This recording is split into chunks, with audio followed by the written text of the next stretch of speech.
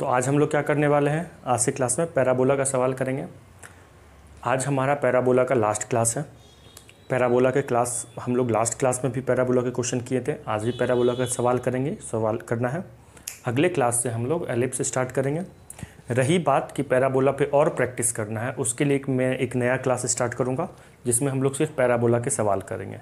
Okay तो अब वैसे बहुत क्वेश्चन कर भी चुके हैं थ्योरी पढ़ते हुए क्वेश्चन पैराबोला के तो उसको कर लो और आज से क्लास का कर लो, फिर हम लोग अगले क्लास से एलिप्स स्टार्ट करेंगे। ठीक है? और जो पैराबोला का और भी क्वेश्चन जब करेंगे, उसके लिए एक दूसरी क्लास स्टार्ट करेंगे। ठीक है? उसकी टाइम आपको बता दी जाएगी कि वो टाइम किस टाइम पे अपना पैराबोला का क्लास आप लोग को अपलोड हो जाया करेगा, मिल जाएगा। ठीक है? तो चलो अब स्टार्ट करते हैं पैराबोला का क्वेश्चन करना। तो देखो बच्चों, आज के क्लास का पहला सवाल है, बढ़िया क्वेश्चन है। ये क्वेश्चन भी ना कॉमन टेंजेंट पे जैसा कि मैं लास्ट क्लास में भी तुम लोगों को बोला था कि कॉमन टेंजेंट का सवाल आता है एग्ज़ाम में। कॉमन टेंजेंट और स्लोप ये ना, ये दो क्वेश्चन मतलब आपका जो भी, जितने भी शिफ्ट होंगे जे के, कहीं किसी न किसी शिफ्ट में ये आ ही जाएगा। ओके कोऑर्डिनेट ज्योमेट्री की बात कर रहा हूँ। ठीक है तो इसमें देखो the slope of the line touching the parabolas मतलब एक लाइन है जो पैराबोला दिस और दिस पैराबोला को टच कर रहा है तो उस लाइन का स्लोप निकालना है। मतलब दो अलग अलग पैराबोलाज दिए हुए हैं। उन दोनों पैराबोला पे एक ही लाइन टेंजेंट है मतलब दोनों लाइन को टच कर रहा है। टच करने का मतलब टेंजेंट है। तो उस टेंजेंट लाइन का स्लोप निकालना है। आई बात समझ में? समझ गया? तो अगर समझ में आ गया है, खुद से हो पाएगा तो वीडियो को पॉज कीजिए और खुद से कीजिए, नहीं तो मैं बता ही रहा हूँ। ठीक है? करो खुद से। तो देखो कैसे करेंगे इस क्वेश्चन को। अगर मैं इन दोनों ज़रूरी नहीं है कि दोनों पैराबोला का आपको रियल फिगर ही बनाना है। मतलब अब यहाँ पे तो इजी है, बनाना तो बना लेता हूँ, ठीक है? देखो, कैसा बनेगा। मान लो जैसे ये y square equal to four x है। फोर एक्स है, उसका तो ऐसा ग्राफ बनेगा, ठीक है? ये पैराबोला बन गया। Next one is what x square ये क्या हो गया है? Y square equal to four x ये फ़र्स्ट पैराबोला है, ठीक है? दूसरा पैराबोला क्या है? X square equal to minus thirty two y ये डाउनवर्ड पैराबोला है है ना? तो इसका इक्वेशन क्या हो गया? X square equal to minus thirty two y this is second parabola. आई बात समझ में? अब कोई लाइन है जो दोनों पे टेंजेंट है तो कुछ ऐसा बनाते हैं। कोई लाइन है जो क्या है? दोनों पे टेंजेंट है। ठीक है? ये लाइन एल है। मान लो ये लाइन एल है ठीक है ये स्ट्रेट लाइन है ये पैराबोला फ़र्स्ट पैराबोला और सेकेंड पैराबोला पे दोनों पे टेंजेंट है मान लो यहाँ पे ये पॉइंट मान लीजिए लेट से पी है और ये पॉइंट मान लो क्यू है तो पैराबोला दिस पैराबोला वन को पी पे टच कर रहा है और पैराबोला क्यू को सॉरी पैराबोला टू को क्यू पे टच कर रहा है। आई बात समझ में? ठीक है। अब देखो इसके दो मेथड मैं बताऊँगा ओके दो मेथड बताऊँगा। तो पहला मेथड देखो मतलब देखो पहले सुनो। सबसे पहले हम लोग का ना दोनों पैराबोला के लिए आपको ना कंडीशन फॉर टेंजेंट पता होना चाहिए। तभी ना आप दोनों पैराबोला के लिए जो हम लोग टेंजेंट का इक्वेशन लिखेंगे, वो वो लिखेंगे हम लोग स्लो फॉर्म में। ठीक है? किस फॉर्म में लिखेंगे? स्लो फॉर्म में लिखेंगे। और स्लो फॉर्म में लिखने के लिए दोनों पैराबोला के लिए आपको क्या पता होना चाहिए? कंडीशन ऑफ़ फॉर टेंजेंट पता होना चाहिए। पता है? ईमानदारी से सोचो, पता है? भूल गए होगे। तो पैराबोला, पहला ये वाला पैराबोला है। ये कौन सा फॉर्म का पैराबोला है? Y square equal to four A x इसके लिए टेंजेंट का कंडीशन क्या होता है? Y equal to m x plus सी में सी का वैल्यू क्या होना चाहिए? सी का वैल्यू ए बाई एम होना चाहिए। याद है? देखो। अच्छा अब ये वाला अगर पैराबोला है, पहले इसके लिए करते हैं। इसके लिए करते हैं। तो यहाँ पे ए का वैल्यू बताओ क्या है? अगर मैं कंपेयर करूँ कंपेयर करूँ तो four a equal to four तो यहाँ से ए की वैल्यू वन आ गई। तो for this parabola for parabola one equation of tangent क्या होगा? लिखते हैं। अच्छा मैं ये सब ना लिख के बता रहा हूँ। जी में सब लिखना नहीं जी में तो रफली आप लोग कैसे भी करोगे, है ना? तो मैं लिख के बता रहा हूँ। फॉर फॉर पैराबोला फ़र्स्ट ठीक है ना? इक्वेशन ई ओ टी का मतलब है बच्चों इक्वेशन ऑफ़ टेंजेंट क्या होगा? y equal to m x plus c c का value a by m a की वैल्यू क्या है? वन वन बाई एम हो गया। ठीक है? तो ये बन गया एम एक्स जनरल इक्वेशन के फॉर्म में लिख देते हैं। A x plus b y plus c के फॉर्म में m x minus y plus one by m equal to zero ठीक है? ये एक स्ट्रेट लाइन का इक्वेशन हो गया। मतलब इस टेंजेंट का इक्वेशन हो गया। जैसे इसको फ़र्स्ट और सेकेंड माने हुए तो इसको थर्ड मान लो। ठीक है? इसको थर्ड मान लीजिए third equation now for this parabola for parabola two second जो पैराबोला उसके लिए टेंजेंट का इक्वेशन क्या होगा? For parabola two equation of tangent क्या होगा? अब बताओ मुझे x square equal to minus four a y के लिए कंडीशन फॉर टेंजेंट क्या होता है? हुँ, हम्म, बताओ y equal to m x plus c c का वैल्यू क्या होना चाहिए? क्या होना चाहिए? ए एम स्क्वायर क्या होना चाहिए? प्लस में ए एम स्क्वायर देखो a by m minus a by m minus a m square plus a m square समझ में आ गया? Y square equal to four a x y square equal to minus four x s x square equal to four a y और x square equal to minus four a y a by m minus a by m minus a m square plus a m square तो ये क्या हो गया? Plus a m square तो इसके लिए ए की वैल्यू अगर मैं देखूँ, इसको देखो x square equal to minus four a y से कंपेयर करूँ तो फोर ए की वैल्यू हो गई एट सॉरी डायरेक्ट बता दिया मैं। थर्टी टू तो ए की वैल्यू आ गई एट। एट मन में एट चल रहा था, इसीलिए एट लिख दिया पहले। तो ए की वैल्यू एट आ गई। तो यहाँ से फॉर दिस पैराबोला पैराबोला क्या है माइनस थर्टी टू वाई है ना? माइनस थर्टी टू वाई है, इसके लिए ए का वैल्यू कहाँ है? ए का वैल्यू एट है। एट वाई लिख दो। एट एम स्क्वायर क्लियर है? चलो तो अब क्या हो जाएगा बताओ? इक्वेशन ऑफ़ ये m x minus y plus eight m square equal to zero this is what this is second parabola ये क्या है? पैराबोला इसको फोर मान लो। ठीक है? अच्छा ये दोनों किस स्ट्रेट लाइन का किस स्ट्रेट लाइन का इक्वेशन है? इसी टेंजेंट का है। दोनों इक्वेशन नंबर थर्ड और equation number four same line को रिप्रेजेंट कर रहा है। अब क्लिक कर गया हो। अगर लास्ट क्लास अटेंड किए होगे तो क्लिक कर गया होगा कि मतलब एक ही इक्वेशन अगर दो अलग अलग सॉरी दो अलग अलग इक्वेशन एक ही कर्व को रिप्रेजेंट करता है। दो अलग अलग इक्वेशन मतलब इक्वेशन दो हो और कर्व एक ही हो, एक ही कर्व को रिप्रेजेंट करता है तो क्या होता है? क्या होता है? उनके जो एग वेरिएबल्स के कोफिशियंट्स होते हैं, उनका रेशियो इक्वल होता है और कॉन्सेंट टर्म का भी रेशियो इक्वल होता है। कॉन्सेंट टर्म का रेशियो अगर इक्वल नहीं होता था तो कर्व दो अलग अलग कर्व हो जाता था तो पैरल हो जाता था। है ना? यहाँ पे क्या होगा? एक्स का कॉफिशियंट वाई का कॉफिशियंट और कॉन्सेंट टर्म का कॉफिशियंट का रेशियो सेम होगा। क्यों होगा? क्योंकि ये दो अलग अलग इक्वेशन एक ही कर्व को रिप्रेजेंट कर रहा है और वो कर्व क्या है? स्ट्रेट लाइन देखो कर्व से ना आप लोग को समझ में आता है कि न, कोई टेढ़ा सा लाइन कर्व का मतलब स्ट्रेट लाइन भी एक कर्व है, वो एक स्ट्रेट कर्व है। आई बात समझ में? तो देखो, अब क्या करेंगे बताओ? चलो, पहले यहाँ तक लिखो। तो देखिए बच्चों, यहाँ तक लिख लिए। अब हम लोग क्या लिखेंगे? As equation three and four as ये मैं यहाँ पे जो फिगर बनाया था, उसको रफ कर दिया। As equation three and four represent अच्छा ये ना फिर बोल रहा हूँ मैं, ये समझाने के लिए ये लिख रहा हूँ, आप कॉपी में आप भी लिख लेना। इसको लिख लेना रिवीजन में काम आएगा। वैसे तो जी में ये सब लिखने मत लगना इसी में टाइम निकल जाएगा। उतना तो कॉमन सेंस है सर है ना? Equation equation third and four represent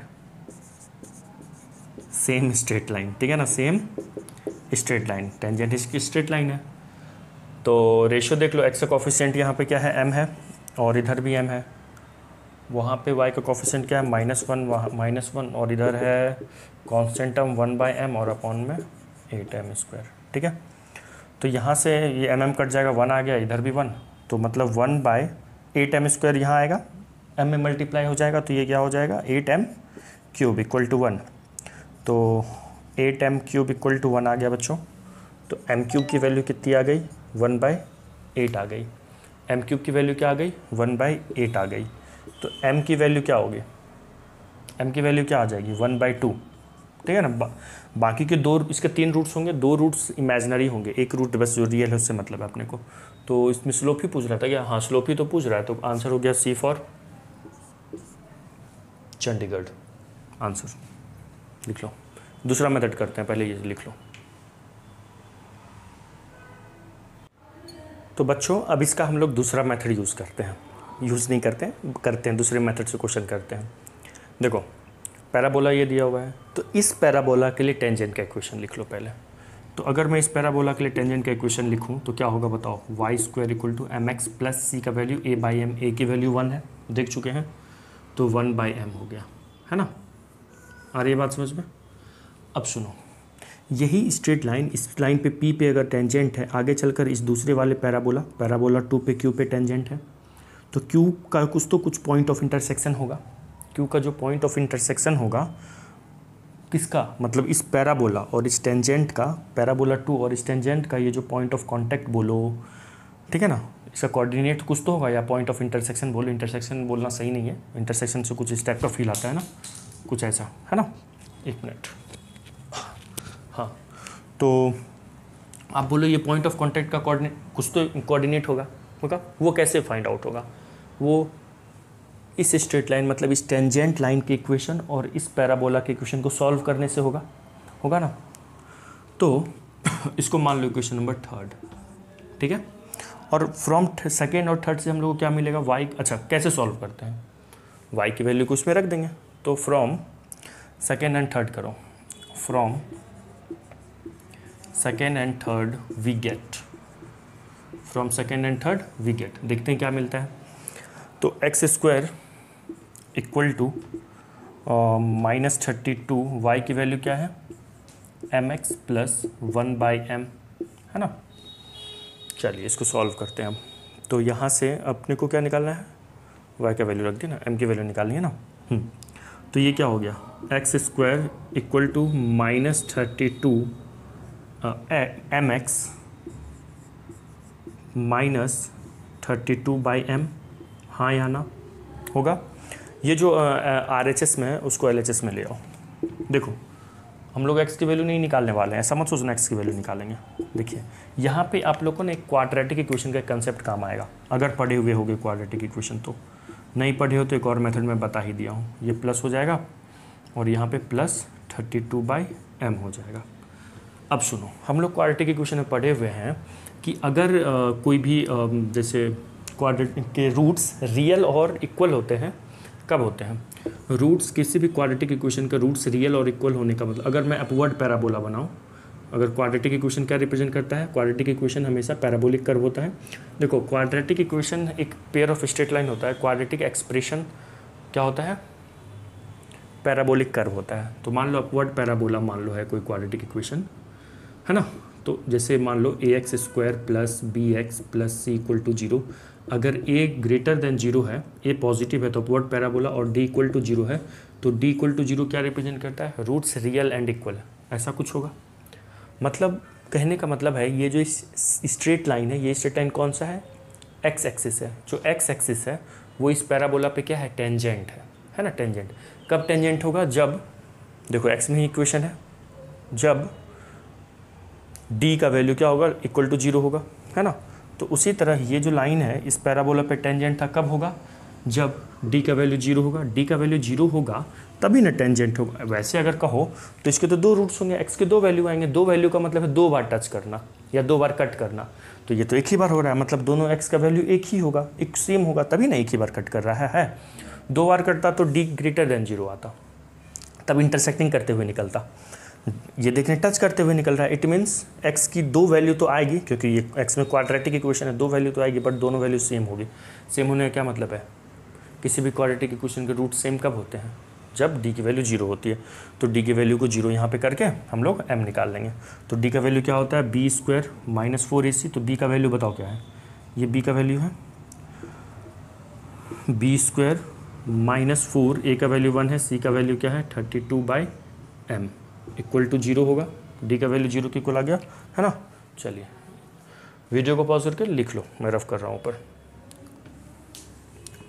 तो यहाँ से आ, कितना हो जाएगा? ये thirty two square thirty two का स्क्वायर हो गया है ना? M square equal to four into thirty two by m एक थर्टी टू से एक थर्टी टू कैंसिल हो गया है ना? ये एम इधर आ गया तो एम क्यूब हो गया four by thirty two, four eight जा। वन बाई एट तो एम क्यूब का वैल्यू कितना आ गया? देखो, उस टाइम भी वन बाई एट ऐसा कुछ आया था ना अभी? उस फ़र्स्ट मेथड से तो एम की वैल्यू यहाँ पे कितनी आ गई? दो रूट्स इमेजनरी होंगे तो इमेजनरी अपने को नहीं निकालना है। तो ये हो गया। आया समझ में? है ना? दूसरा मेथड देख लें डी इक्वल टू ज़ीरो लगा के देख लें और एक क्या देख लें कि दो, एक ही दो अलग अलग इक्वेशन एक ही कर्व को रिप्रेजेंट करता है। तो कांस्टेंट टर्म का रेशियो और जो वेरिएबल्स के रेशियो होते हैं, वो सब सेम होते हैं, एक उस मेथड से कर लिए। आई बात समझ में? अच्छा कंसेप्ट रिवाइज हो गया। अगला क्वेश्चन करते हैं, लिख लो। नाउ क्वेश्चन नंबर सेकेंड देखो, आज की क्लास का दूसरा सवाल। इस सवाल से भी हम लोग एक अच्छा कंसेप्ट सीखेंगे, इसको तुम ध्यान रखना है। देखो, क्या है? क्वेश्चन आता है ऐसा क्वेश्चन लिखा हुआ है the shortest distance between the line this and the curve this मतलब एक स्ट्रेट लाइन दिया हुआ है और एक कर्व दिया हुआ है। और वो कर्व क्या है? X square equal x equal to y square मतलब पैराबोला है, ठीक है? तो इस स्ट्रेट लाइन और इस कर्व के बीच का शॉर्टेस्ट डिस्टेंस निकालना है। तो रुको, पहले पे अपन ना फिगर बना लेते हैं कैसा बनेगा ये, कैसा दिखेगा ओके इसका पहले हम लोग क्या कर लेते हैं? फ़ोटो बना लेते हैं, कैसा दिखेगा ये? तो देखो, सबसे पहले पैराबोला है y square equal to x मतलब राइट वर्ड पैराबोला, है ना? ये कुछ ऐसा मान लो ये पैराबोला बन रहा है, ओके? और ये स्ट्रेट लाइन, ये कौन सा पैराबोला है? Y square equal to x इसमें ए की वैल्यू क्या है बच्चों? ए की वैल्यू है वन बाई फोर है ना? अगर कंपेयर करोगे y square equal to four a x से तो ए की वैल्यू वन बाई फोर है। नाउ द स्ट्रेट अब देखो ये स्ट्रेट लाइन कैसा बनेगा? एक्स को ज़ीरो करो वाई की वैल्यू वन और वाई को ज़ीरो करो एक्स की वैल्यू माइनस वन आएगा तो कुछ ऐसा बनेगा ये। ठीक है? कुछ ऐसा। अब देखो, ये straight line this straight line और दिस पैराबोला के बीच का शॉर्टेस्ट डिस्टेंस बताना है। ठीक है? अच्छा एक बात बताओ। जैसे मान लो, मैं तुम तुम लोग को एक लाइन दे दिया और एक पॉइंट दे दिया, पूछूँगा कि इस पॉइंट और इस लाइन के बीच का शॉर्टेस्ट डिस्टेंस क्या है? तो आप बोलोगे, सर, ये इस पॉइंट से इसमें परपेंडिकुलर डाल दीजिए। मतलब कहने का मतलब उस पॉइंट से परपेंडिकुलर डाल देना है। है ना? तो देखो, इससे हिंट मैं लेके आपको ये समझाने की कोशिश करूँगा मैं कि जब भी शॉर्टेस्ट डिस्टेंस की बात हो ना किसी भी दो कर्व के बीच का शॉर्टेस्ट डिस्टेंस पूछेगा ना तो करना क्या है? उन दोनों कर्व पे जो नॉर्मल लाइन होगा ना, जो दोनों पे नॉर्मल का काम करेगा, उसी के अलॉन्ग शॉर्टेस्ट डिस्टेंस होगा। क्या कहा मैं?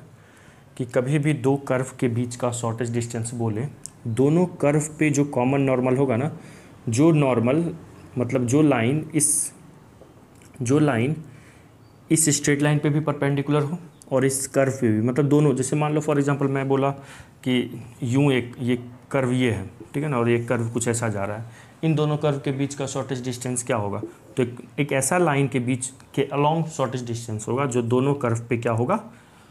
परपेंडिकुलर होगा। मतलब दोनों कर्व के लिए किसका काम करेगा? नॉर्मल का काम करेगा। आया समझ में? तो इसको नोट करके लिख लो। The shortest distance between two curves इसको ना नोट करके लिख लो लिखवा देता हूँ मैं। नोट करके एकदम ध्यान रखना है इसको। the shortest distance between two curves between two curves.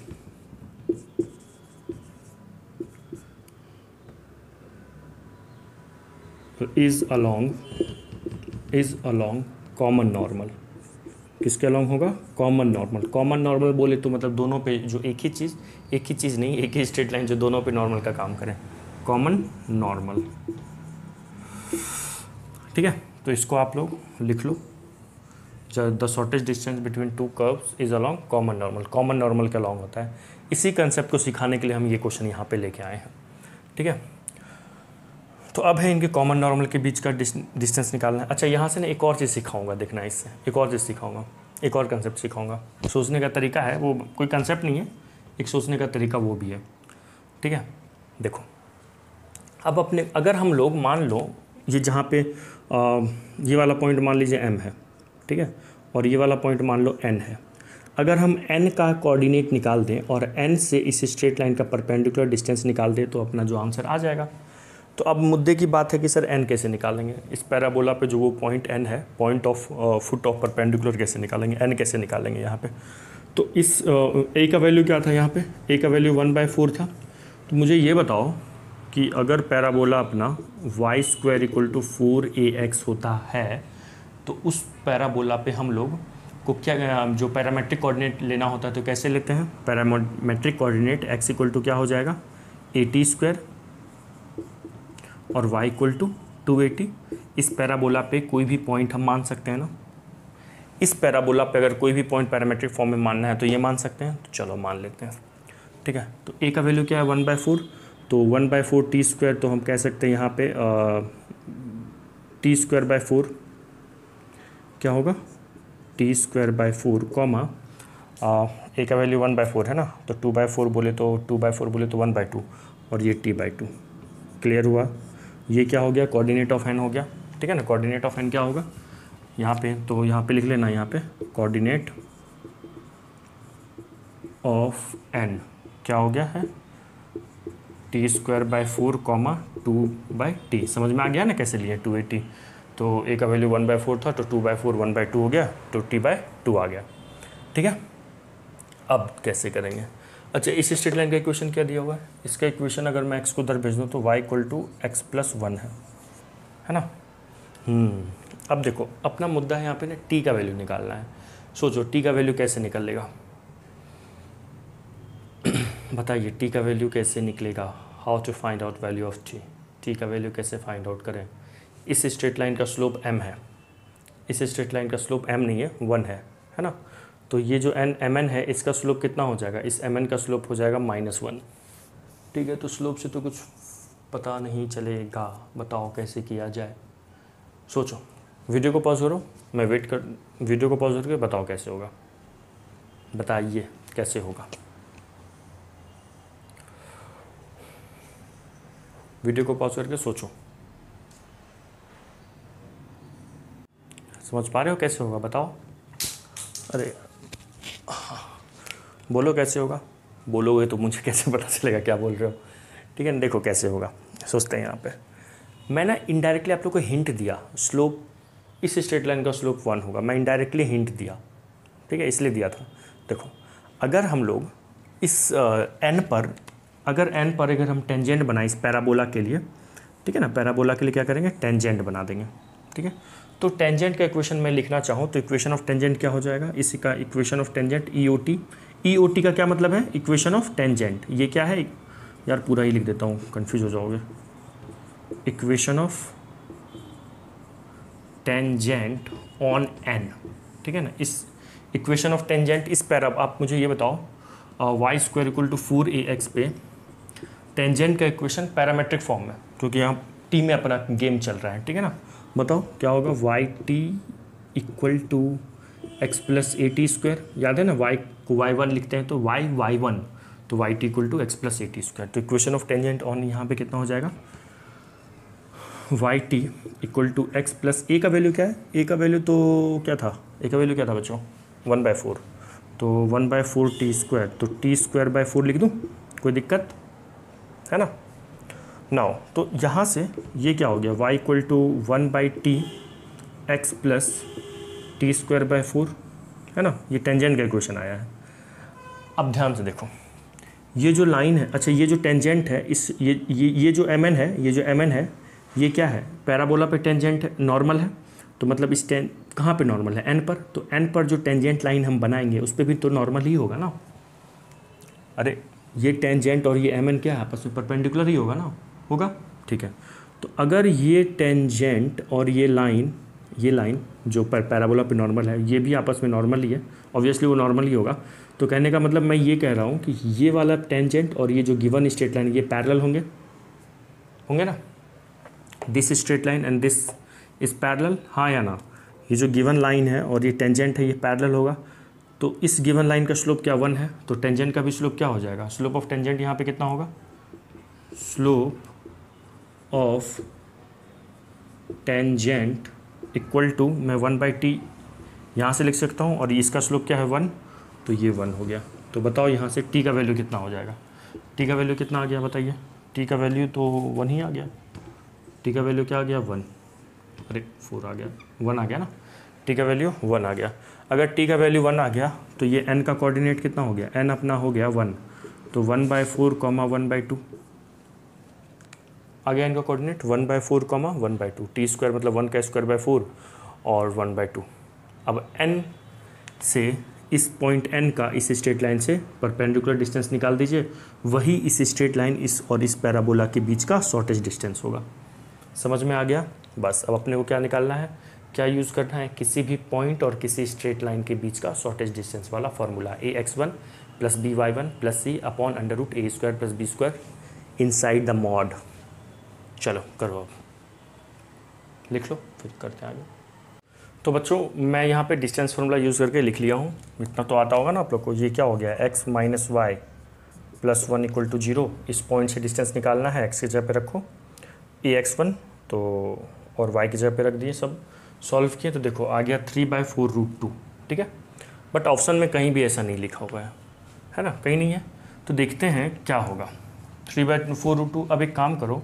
अगर इसको हम लोग नाव रूट टू से मल्टीप्लाई करें तो क्या हो जाएगा? Three root two three under square root two three into square root two और देखो root square root two square root two कितना हो जाएगा?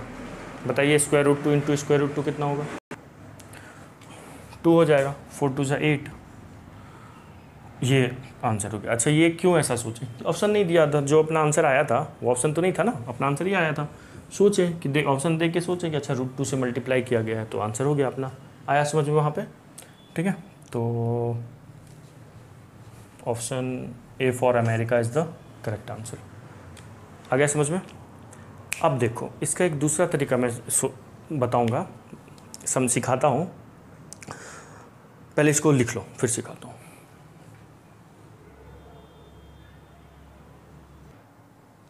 देखो, चलो रफ कर दिया उसको। ये कोई दूसरा तरीका नहीं है। यहाँ पे देखो, अभी जो मैं सिखाऊँगा ना, इसके लिए आप लोग अगर मेरा पैराबोला का लेक्चर, जिसमें हम लोग किसी भी पैराबोला पे जो हम लोग पैरामेट्रिक कोऑर्डिनेट लेट करते हैं, मानते हैं, कैसे a t square comma two a t hint and trial से हम लोग सोचे थे, चलो ये ले लेते हैं, हर जगह यही लिया गया है तो अपन मान लिए। है ना, हम लोग ऐसा मान ले के अब यूज़ करने लगे हैं। तो ए का वैल्यू तो चलो यहाँ पे वन बाय फोर है, लेकिन अब अगर मैं ऐसे ही सोचूं कि अपने पास मान लो y square equal to four x ना हो गया पैराबोला, हमेशा के लिए ऐसा ही होता। ऐसे ही मानते हैं, ऐसा कुछ मानते हैं। ठीक है? तो उसको तो हम इसलिए माने थे ना y square equal to four x के लिए ऐसा माने थे कि ताकि ये ना वाई का जो वाई कोऑर्डिनेट आए, वो स्क्वायर रूट में ना आए। तो एक्स को हम परफेक्ट स्क्वायर जैसा मान लिए। मान लो ये ए टी स्क्वायर मान लिए, तब यहाँ पे four a square t square हो गया था तो वाई का value two a t plus minus में आ गया था, ऐसा कुछ था। है ना? अगर फोर ए ना हो के एक्स ही हो फोर ए ना हो के एक्स ही हो जैसा यहाँ पे है तो अपने को तो फोर ए मानने की कोई ज़रूरत ए के एक्स की जगह पे ए टी स्क्वायर मानने की ज़रूरत नहीं है ए तो है ही नहीं तो सिर्फ़ टी स्क्वायर मान लेते हैं, है ना? सिर्फ़ टी स्क्वायर मान लेते हैं। अगर एक्स को हम एक्स को हम लोग टी स्क्वायर मानेंगे तो वाई का वैल्यू टी आ जाएगा। तो मैं यही सिखाने की कोशिश कर रहा हूँ कि आप अपने मन से, ठीक है ना? तुम लोग ये भी ऐसा सोच सकते हो।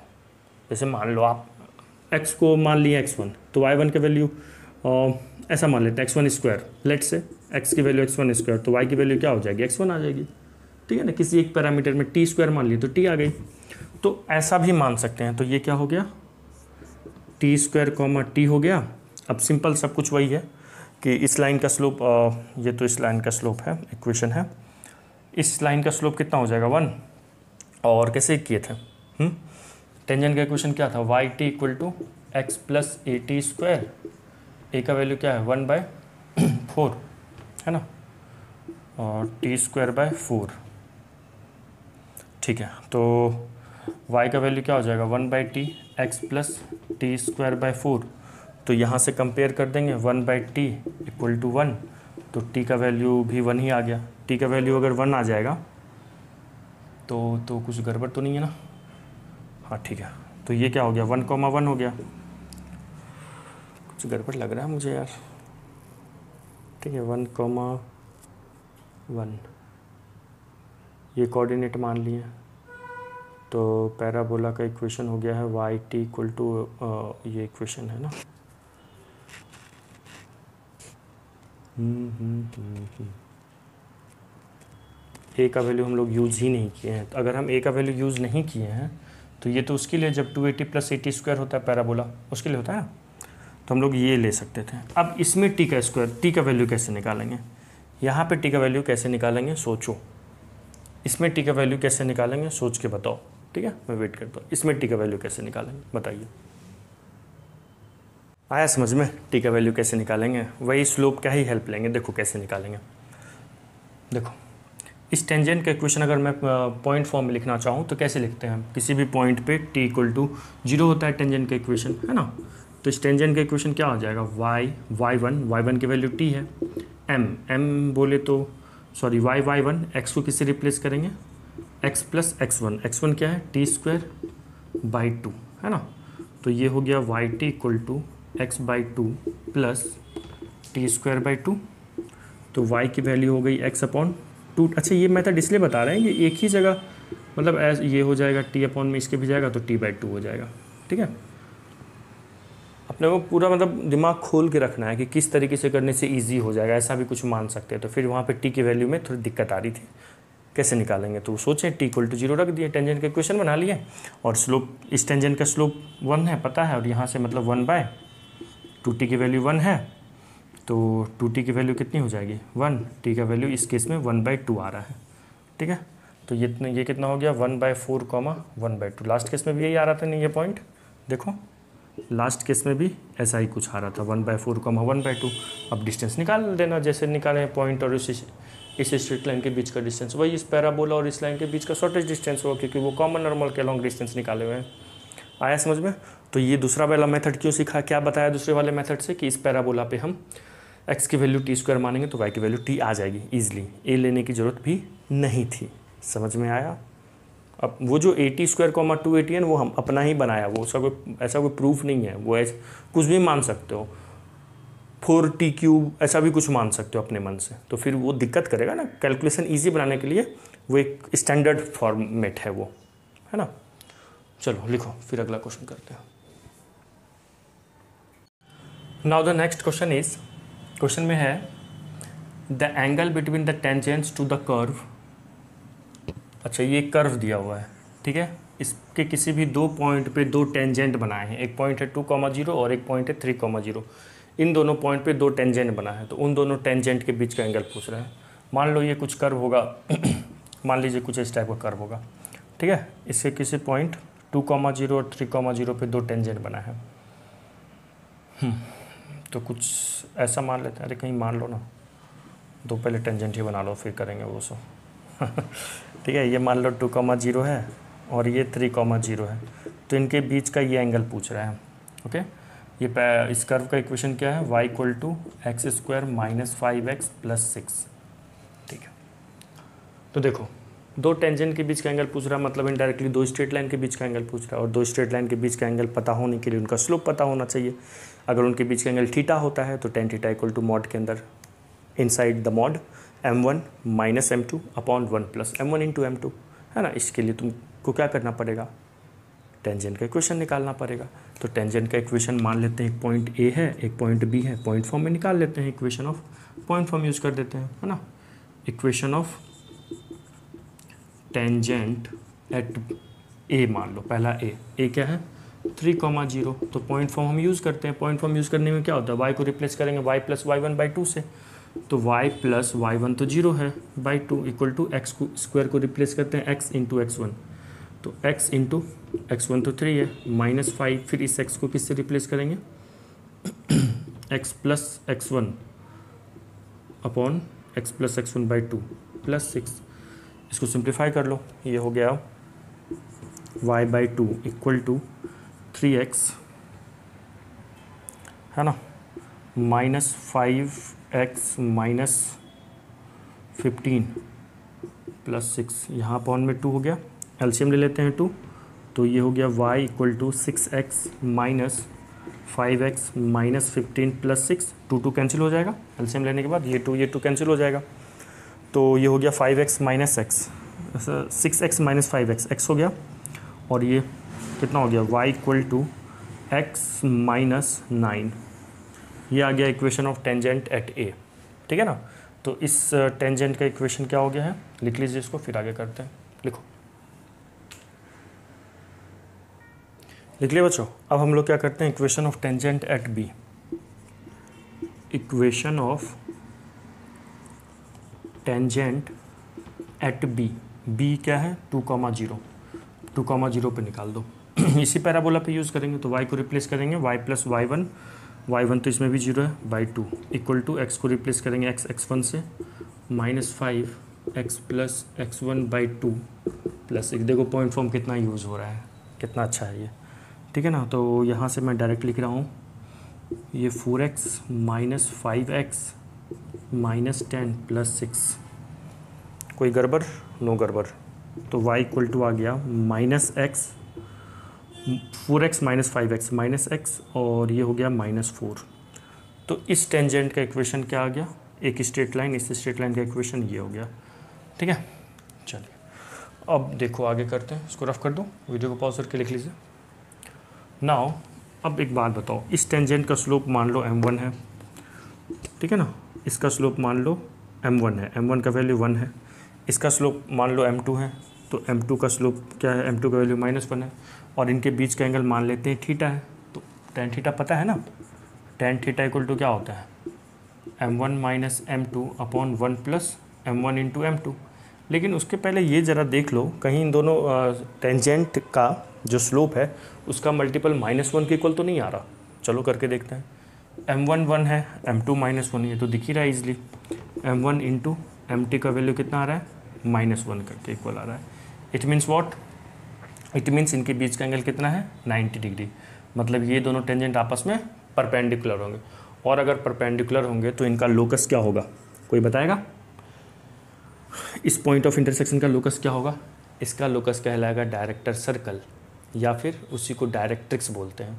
तो अगर यहाँ पे बोल देता कि इस पॉइंट ऑफ़ इंटरसेक्शन का लोकस निकालने के लिए और अगर 90 डिग्री एंगल था तो डायरेक्ट्रिक्स होता तो इस इक्वेशन का अपने को डायरेक्ट्रिक्स निकालना था और मैं डायरेक्ट्रिक्स निकालना स्टार्टिंग के दूसरे या पहले या दूसरे क्लास वगैरह पहले तो नहीं, दूसरे या तीसरे क्लास में बताया हूँ। ये स्टैंडर्ड फॉर्म तो नहीं है स्टैंडर्ड फॉर्म में कन्वर्ट करके ठीक है? अब तो वो अभी देख लेना वहाँ पर तो इनके बीच का एंगल कितना आ गया? Ninety degree. Answer B B for Bombay is the correct answer चलो नेक्स्ट करते हैं, लिखो। चलिए बच्चों now the next question is ये देखते ही बन जाएगा, बहुत ईजी सवाल है। ये मैं लिया हूँ, इसलिए मेंस में आया हुआ था क्वेश्चन तो दिखाने के लिए देखो, ऐसे भी क्वेश्चन मेंस में आते हैं। कितने सिंपल क्वेश्चन है। क्वेश्चन में है if two tangents drawn from a point P to the parabola ये पैराबोला है कुछ? कैसा पैराबोला है? Y square equal to four x four x इसके किसी पॉइंट बाहर पॉइंट पी से इस पर दो टेंजेंट बनाए हैं, ठीक है? एक मिनट दो टेंजेंट बना है। यार, ये फिगर ठीक है, दो टेंजेंट बना है। तो और उनके बीच का एंगल 90 डिग्री है। तो इस पॉइंट पी का लोकस पूछ रहा है। डायरेक्ट्रिक्स होगा, और क्या होगा? दो पर दो टेंजेंट अगर परपेंडिकुलर होते हैं किसी भी पैराबोला पे तो उनके पॉइंट ऑफ़ इंटरसेक्शन लोकस होते हैं। पॉइंट ऑफ़ इंटरसेक्शन का लोकस डायरेक्ट्रिक्स होता है। या अगर डायरेक्टर सर्कल भी बोल सकते हो, जो पैराबोला का जो डायरेक्टर सर्कल होता है, वो डायरेक्ट्रिक्स ही होता है। है ना? तो स्ट्रेट लाइन होगा, उसका इक्वेशन क्या होगा? डायरेक्ट्रिक्स का इक्वेशन क्या होता है? X equal to minus a for this parabola a का वैल्यू क्या है? वन है. तो x equal to minus one देख लो option x equal to minus one B for Bombay is the correct answer आया समझ में? लिखो।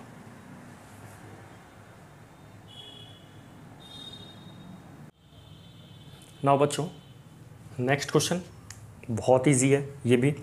देखो पैराबोला हैज़ कोई पैराबोला है जिसका the parabola has origin as its focus कोई पैराबोला है जिसके लिए ऑरिजिन किसका काम कर रहा है? फोकस का काम कर रहा है, ठीक है ना? ये ऑरिजिन ही फोकस है।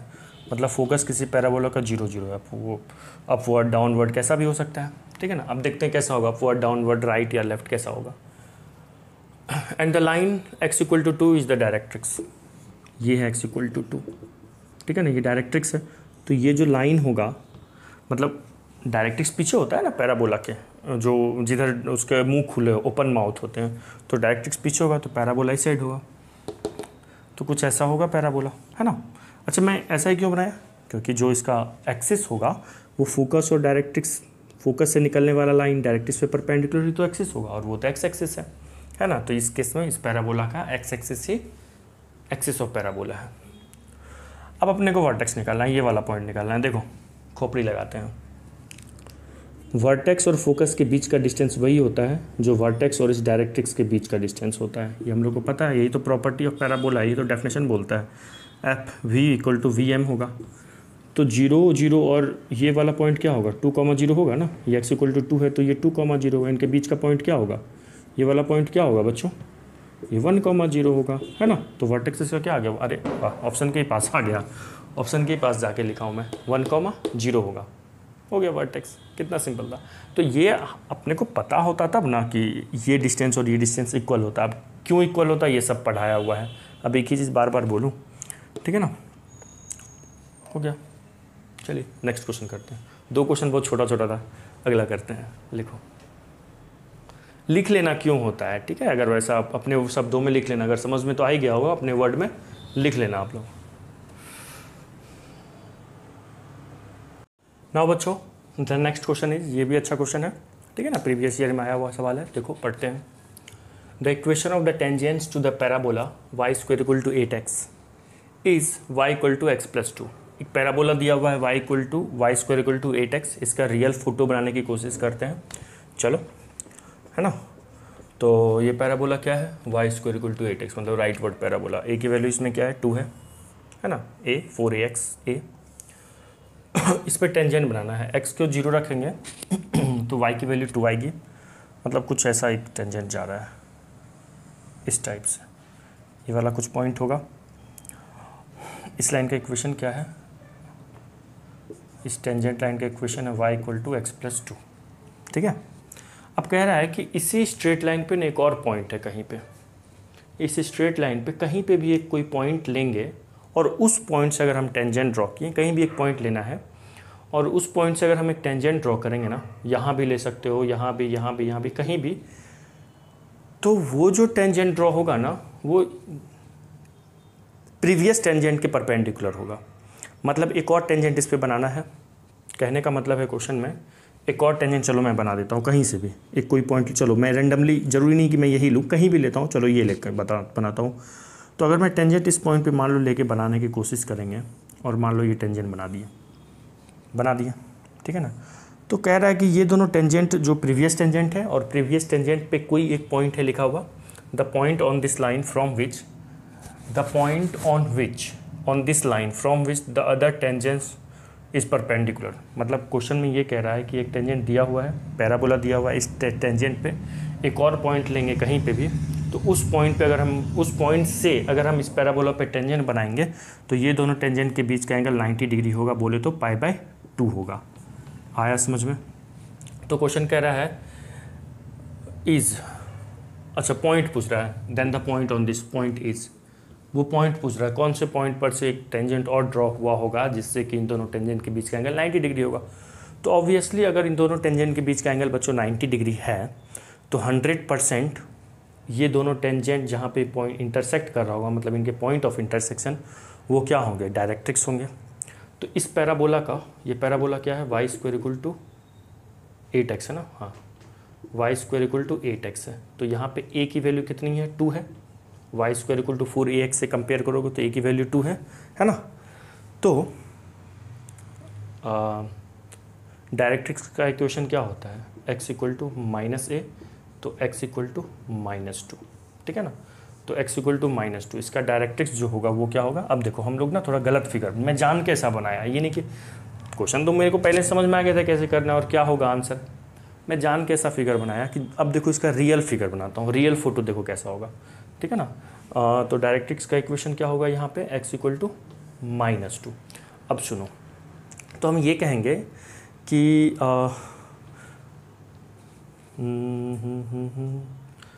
रियल फीट फ़ोटो बनाए। तो जो ऐसा सोचो। पॉइंट ऑफ़ इंटरसेक्शन तो इसका क्या होगा? डायरेक्ट्रिक्स पे लाई करेगा तो मतलब उसका एक्स कोऑर्डिनेट माइनस टू होगा। ढूंढो तो कहीं पे एक्स कोऑर्डिनेट माइनस टू है। सिर्फ़ एक ही ऑप्शन में है माइनस टू ठीक है ना? माइनस टू तो हम कह सकते हैं डी इसका आंसर है। आ गया डी ठीक है ना? तो आप कहोगे सर, आपने माइनस टू कॉमा ज़ीरो आप ले रहे हैं। अगर मैं इसका, देखो, अब मैं तुम लोग को ना एक कन्फ्यूज़ करवाता हूँ थोड़ा। ये मिटा रफ कर देता हूँ उसका कोई यूज़ नहीं है वीडियो को पॉज करके मैंने लिख दो। आंसर भी आ गया अपना, ठीक है ना? देखो, मैं थोड़ा कन्फ्यूज़ करवाता हूँ तुम लोग को। जैसे मान लो क्वेश्चन में ये था, एक पैराबोला था, इस पर एक टेंजेंट बनाए और एक और टेंजेंट बनाए। तो इन दोनों का पॉइंट ऑफ़ इंटरसेक्शन यहाँ है। तो देखो, कुछ मेरी ऑफलाइन क्लास में ना जब मैं एक प्रीवियस ईयर क्वेश्चन करवाया था तो बोल रहे थे, बच्चे सर डायरेक्ट्रिक्स तो और भी तो कहीं हो डायरेक्ट्रिक्स का लोकस तो ये है, ये भी पॉइंट हो सकता है, ये भी पॉइंट ये भी पॉइंट ये भी पॉइंट और भी तो कोई पॉइंट हो सकता है। कन्फ्यूज़ हो गए। अरे पॉइंट तो बहुत सारा डायरेक्ट्रिक्स पे हो सकता है, लेकिन वो वाला पॉइंट लेना है जहाँ पे ये दोनों टेंजेंट इंटरसेक्ट कर रहा है। दोनों टेंजेंट इंटरसेक्ट कर रहा है। तो कहोगे, सर, आप तो मतलब आगे चलेंगे। तो ये जो रियल टेंजेंट पहले से गिवन टेंजेंट है ये कहाँ पे, कोई एक ही जगह ना, जो नया वाला टेंजेंट को इंटरसेक्ट करेगा और जहाँ पे इंटरसेक्ट करेगा, वो एक्स एक्सिस पे ही तो करेगा। करेगा ना? क्यों करेगा एक्स एक्सिस पे? क्योंकि ये जो डायरेक्ट्रिक्स है और ये जो टेंजेंट है, ये दोनों एक दूसरे को एक्स एक्सिस पे कट कर रहेगा। कर रहा है। कहाँ पे कट कर रहा है? माइनस टू कॉमा ज़ीरो पे। तो ये भी तो माइनस टू कॉमा ज़ीरो पे कट करेगा। तो ऐसा मत सोचना कि डायरेक्ट्रिक्स पे तो बहुत सारे पॉइंट होंगे तो बहुत सारी जगह हो सकते हैं ना? नहीं हो सकते ना?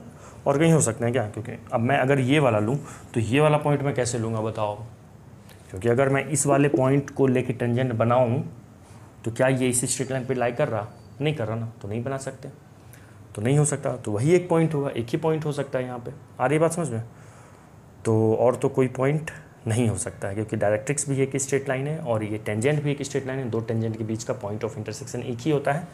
वो यही पॉइंट होगा जहाँ से दूसरा टेंजेंट भी पास करेगा और वो that is what minus two comma zero. और ये माइनस टू कॉमा ज़ीरो इस टेंजेंट पे भी है। आप रख के देख लो सेटिस्फाई करेगा। कहाँ है टेंजेंट का इक्वेशन माइनस टू रख दो। Minus two plus two. हो गया ना? ज़ीरो आ गया। Y equal to zero. देखो वाई इक्वल टू ज़ीरो है। आई बात समझ में? है ना? तो आज के क्लास के लिए इतना ही। बट एक क्वेश्चन मैं होमवर्क दे रहा हूँ। ठीक है? इसको लिख लो। एक क्वेश्चन होमवर्क समझ गए ना? अपने वर्ड में अब लिख लीजिए। इसको मैं समझा दिया हूँ क्वेश्चन अपने वर्ड में लिख लीजिए। बस यही समझना था यहाँ पे, जो परपेंडिकुलर टेंजेंट्स हैं अगर तो वो कहाँ पे होंगे? डायरेक्ट्रिक्स पे ही तो होंगे। परपेंडिकुलर टेंजेंट है तो उनके पॉइंट ऑफ़ इंटरसेक्शन डायरेक्ट्रिक्स पे होगा। तो डायरेक्ट्रिक्स का इक्वेशन अगर x equal to minus two है तो एक्स कोऑर्डिनेट माइनस टू और वाई कोऑर्डिनेट ज़ीरो होगा। एक्स एक्सिस पे कट करेगा ना डायरेक्ट्रिक्स और ये टेंजेंट एक दूसरे को तो यही ऑप्शन है और कुछ है ही नहीं। बाकी दूसरे भी होते हैं माइनस टू कमा फोर भी होता है, वो भी कट कर देता वो भी ऑप्शन नहीं सही होता। चलिए, लिख लीजिए। होमवर्क है। ये क्वेश्चन क्या है? होमवर्क है। इस क्वेश्चन को करके कमेंट में आंसर बताना है। कॉमन टेंजेंट का क्वेश्चन है। और ये अपना एडवांस में या आप आईआईटी बोल दो। आईआईटी में आया हुआ क्वेश्चन है। मुझे ईयर तो नहीं याद है बट ये आईआईटी में आया हुआ प्रीवियस ईयर आईआईटी में आया हुआ क्वेश्चन है। एडवांस में आया हुआ सवाल है। ठीक है? कॉमन टेंजेंट पे सवाल है। पढ़ लेना। करके कमेंट में आंसर बताना है। ठीक है? तो हमारा पैराबोला हो गया। जैसा कि मैं पहले बोल चुका हूँ, पैराबोला के और भी क्वेश्चन करेंगे, उसके लिए हम अलग क्लास लगाएँगे। अब ये जो प्लेलिस्ट हमारा होगा, जो कॉनिक सेक्शन वाला प्लेलिस्ट है, इस वाले क्लास में हम लोग सॉरी एलिप्स स्टार्ट करेंगे। क्या स्टार्ट करेंगे? एलिप्स नया चैप्टर मज़ा आएगा, ठीक है? जब चैप्टर कोई ख़त्म होता है और जब स्टार्ट होता है, तभी मज़ा आता है। बीच में तो सब गोल रहता है, मन ही नहीं करता पढ़ने का, ना? ठीक है, चलो, अगला क्वेश्चन सॉरी अगला टॉपिक एलिप्स स्टार्ट करेंगे और इसका आंसर कमेंट करके बताना। बाय।